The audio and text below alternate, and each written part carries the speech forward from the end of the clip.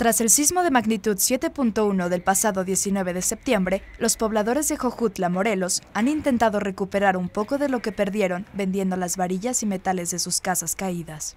Pues la mayoría de la gente que está viniendo a vender son de, sus casas que, que se cayeron y pues tratan de recuperar algo de lo perdido. Pues en sí el de, al día comprábamos lo que era media tonelada de fierro, ahorita están recibiendo de 3 a 4 toneladas al día de fierro.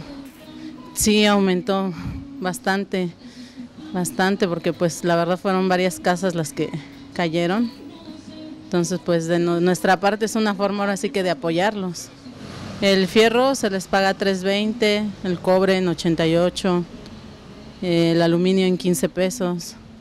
Es dependiendo de cómo traigan ellos el material. pues la mayoría viene ahora sí que eh, pues con cara de tristeza porque pues es de sus casas la mayoría.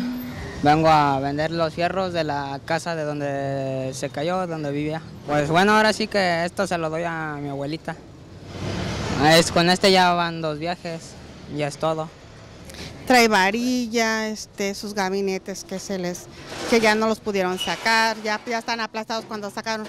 Y ese gabinetes, estufas, refrigeradores que ya, ya no los pudieron sacar se les, porque se les derrumbó pues sus casas. Ajá, y están trayendo todo, todo lo que pudieron rescatar. O sea, lo único que, dicen muchos clientes que de lo mucho que perdieron, pues aunque sea poco, pueden rescatar un poquito de dinero. Los clientes, amigos que han perdido sus casas, estamos con ellos y nos duele, nos duele mucho. Y amigos y clientes han perdido seres queridos. Y aquí pues este, platicamos con ellos y unos a otros nos damos valor y apoyo. Con información de Carlos Trejo e imágenes de José Luis Leone, enviados Notimex.